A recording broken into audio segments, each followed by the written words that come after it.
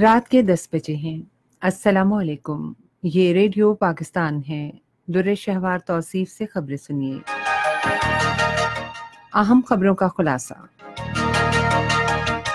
وفاقی کابینہ نے حکومت کے سو روزہ منصوبے پر عمل درآمد یقینی بنانے کے لیے مختلف کمیٹیوں اور ٹاسک فورسز تشکیل دینے کا فیصلہ کیا ہے۔ وزیر خارجہ نے کہا ہے کہ پاکستان نے اسلامی تعاون تنظیم کے چھ ملکوں کو خطوط لکھے ہیں، جن میں ہالینڈ میں توہین آمیز خاکوں سے متعلق مسلم ممالک کی یکساں موقف اختیار کرنے پر زور دیا گیا ہے۔ پاکستان اور بھارت کے سندھ ٹاسک واٹر کمشنرز متنازع پن بجلی منصوبوں پر کل لاہور میں مذاکرات کریں گے۔ قراقرم میراتھن چیلنج میں شرکت کے لیے چوبیس ملکوں سے پینتیس عالمی رنرز پاکستان پہنچ گئے ہیں۔ اور اب خبریں تفصیل کے ساتھ۔ وفاقی کابینہ کا اجلاس آج شام اسلام آباد میں وزیر اعظم عمران خان کی صدارت میں ہوا، جس میں حکومت کے سو روزہ منصوبے پر عمل درآمد یقینی بنانے کے لیے مختلف کمیٹیاں اور ٹاسک فورسز تشکیل دینے کا فیصلہ کیا گیا۔ یہ بات اطلاعات و نشریات کے وزیر چودھری فواد حسین نے کابینہ اجلاس کے بعد صحافیوں سے گفتگو کرتے ہوئے بتائی۔ وفاقی کابین وفاقی وزیر نے کہا کہ قومی احتساب بیورو کے قوانین میں ترامیم کی جائیں گی تاکہ ادارے کو مؤثر بنایا جا سکے اور شہری قوانین میں بھی ضروری ترامیم کی جائیں گی تاکہ خواتین کا جائیداد میں حصہ اور مقدمات کے فیصلوں میں تاخیر جیسے مسائل حل کیے جائیں۔ انہوں نے کہا کہ انسداد دہشت گردی کے قانون کو بھی مزید فعال بنایا جائے گا۔ انہوں نے کہا کہ ایک کروڑ نوکریوں کی فراہمی اور پچاس لاکھ گھروں کی تعمیر کے حکومتی وعدے پورے کرنے کے لیے ٹاسک فورسز قائم کی گئی ہیں۔ وزیر اطلاعات نے کہا کہ وزیر اعظم ہر پندرہ روز کے بعد ان ٹاسک فورسز کی کارکردگی کا جائزہ لیں گے۔ انہوں نے کہا کہ کابینہ نے ساگڈار کے خلاف منی لانڈرنگ کیس میں مبینہ طور پر ملوث ہونے پر نیشنل بینک کے صدر سعید احمد کو ہٹانے کا فیصلہ کیا ہے۔ اس موقع پر اظہار خیال کرتے ہوئے ماحولیاتی تبدیلی کے مشیر امین اسلم نے کہا کہ خیبر پختونخوا میں پاکستان تحریک انصاف کی حکومت کی ایک ارب درخت لگانے کی سونامی مہم کی طرز پر ملک بھر میں دس ارب درخت لگانے کی مہم شروع کی جائے گی۔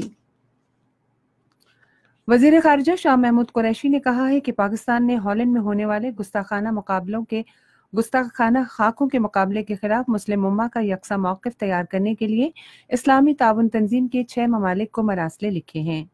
آج اسلام آباد میں پریس کانفرنس سے خطاب کرتے ہوئے انہوں نے کہا کہ ایک مراسلہ او آئی سی کے سیکرٹری جنرل کو بھی بھیجا گیا ہے، جس میں اس معاملے پر تنظیم کے نمائندوں کی کمیٹی کا ہنگامی اجلاس بلانے کو کہا گیا ہے۔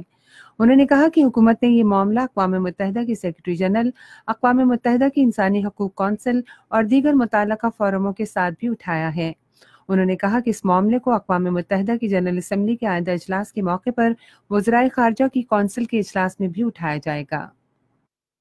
جیسے ہی ریزولوشن کل یونانیمسلی پاس ہوا ہاؤس کی اور سینٹ کی جو خواہش تھی، اس کا احترام کرتے ہوئے میں نے پہلا کام یہی کیا، جو ہمارے چھ فورن منسٹرز ہیں او آئی سی کے، ان کو خطوط ارسال کیے۔ اور پاکستان کا موقف اور ہماری جو استراب کی کیفیت ہے، اس سے انہیں آگاہ کیا۔ شاہ محمود قریشی نے کہا کہ جمہوریت پسند ہونے کے ناطے وہ اظہار رائے کی آزادی پر یقین رکھتے ہیں، لیکن اس آزادی کی کچھ حدود ہونی چاہیے جنہیں پار نہیں کیا جانا چاہیے۔ وزیر خارجہ نے کہا ہے کہ انہوں نے ہالینڈ کے وزیر خارجہ کو ٹیلی فون کیا اور انہیں اس معاملے پر پاکستان کی حکومت اور عوام کے جذبات سے آگاہ کیا۔ انہوں نے کہا کہ ہالینڈ کے وزیر خارجہ نے انہیں یقین دلایا کہ ان کی حکومت کا خاکوں سے کوئی تعلق نہیں ہے اور یہ ایک فرد کی کارستانی ہے۔ ادھر پاکستان اور ترکی نے گستاخانہ خاکوں کے مقابلے کا مسئلہ او آئی سی کے ذریعے یک آواز ہو کر ہالینڈ کی حکومت کے ساتھ اٹھانے پر اتفاق کیا ہے۔ اس سلسلے میں اتفاق رائے آج وزیر خارجہ شاہ محمود قریشی اور ان کے ترک ہم منصب میولت کواسکلوگلو کے درمیان ٹیلی فون پر ہونے والی گفتگو میں کیا گیا۔ شاہ محمود قریشی نے کہا کہ پاک ترک تعلقات باہمی مفاد کی اسٹریٹجک شراکت داری میں تبدیل ہو چکے ہیں۔ میولت نے دونوں ملکوں کے درمیان موجودہ قریبی اور دوستانہ تعلقات کو مزید مضبوط بنانے کی خواہش کا اظہار کیا۔ وزیر اطلاعات و نشریات چودھری فواد حسین نے کہا ہے کہ حکومت ملک میں غیر ملکی ذرائع ابلاغ کی سہولت اور آسان راسائی کو یقینی بنانے کے لیے تمام ضروری اقدامات کرے گی۔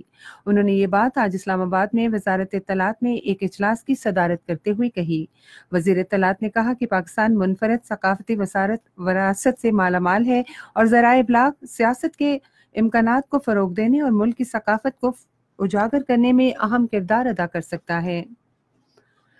بھارت کے واٹر کمشنر پی کے سکسینا کی قیادت میں بھارت کا نو رکنی وفد آج شام واگا بارڈر کے ذریعے لاہور پہنچا۔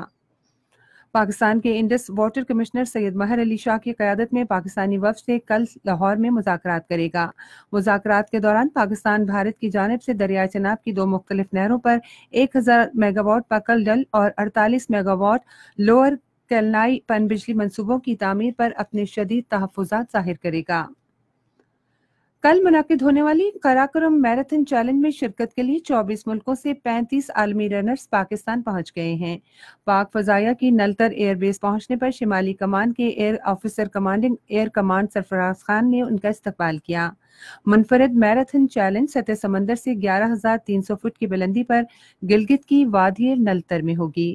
اور اسی کے ساتھ اب تک کی خبریں ختم ہوئی مزید خبروں اور تجزیوں کے لیے ہماری ویب سائٹ ہے radio dot G O V dot P K. اور فیس بک کے link radio Pakistan news official پر براہ راست ویڈیو سٹریمنگ بھی ملاحظہ کیجیے